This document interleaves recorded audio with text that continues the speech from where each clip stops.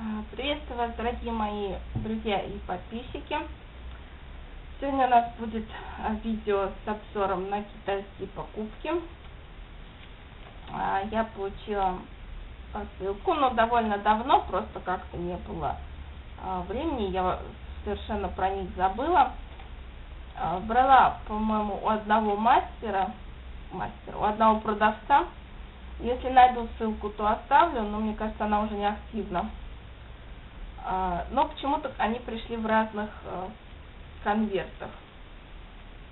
Вот такие две, не знаю, как сказать, заколки, не заколки. В общем, такие спиральки, чтобы делать косички.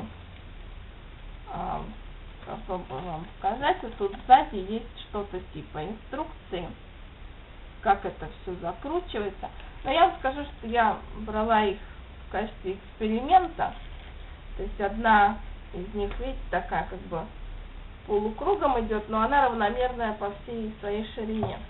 А вторая, она прямая, и она вот здесь узкая, а здесь широкая. Вот, стоили они что-то рублей по 12, если не ошибаюсь. Ну, в пределах 20 рублей они стоили. И я взяла просто попробовать, что из этого получится. По факту на них одна и та же инструкция, только по-разному получается. Как-то непонятно. Вот, в общем, это для облегчения каких-то экстравагантных косичек заплетения. А, как-нибудь попробую, если что-то из этого получится, я вам покажу.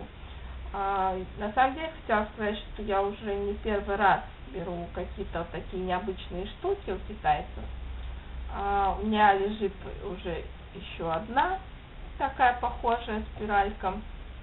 Есть вот эта вот бархатная заколка гибкая, которая туда-сюда крутится.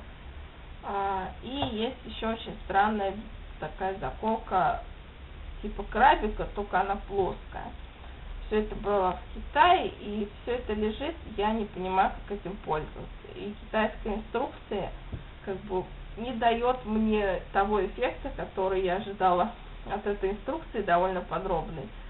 А, с бархатной заколкой, я думаю, что все знакомы, то есть она такая длинная, бархатная, посередине прорезь.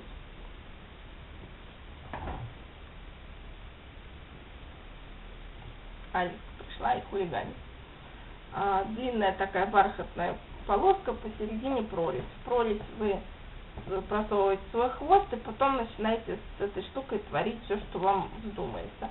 А, как бы я все сделала по инструкции, но волосы у меня не держались.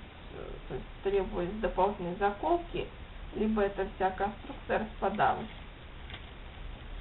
Поэтому, а, поскольку эти штучки стоили меньше 20 рублей, я решила взять попробовать, вдруг из этого что-то выйдет, и я смогу этим пользоваться, в отличие от предыдущих китайских заколок. Вот так.